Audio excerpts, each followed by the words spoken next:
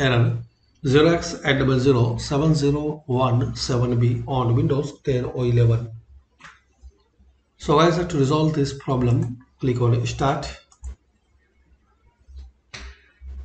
Now here guys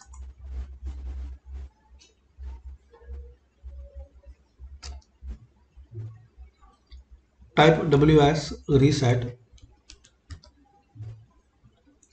so type this command line ws reset then open this uh, option.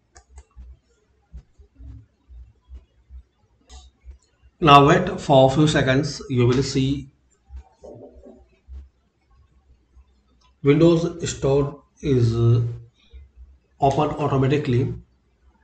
And hopefully guys icloud and all related problem will be resolved and you can fix this uh, error also.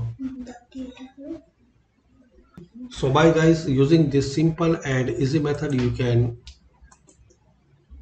fix and resolve. iCloud error 0x8007017B on Windows 10 or 11 just click on start and type WS reset. Thanks for watching and please comment this method work for you or not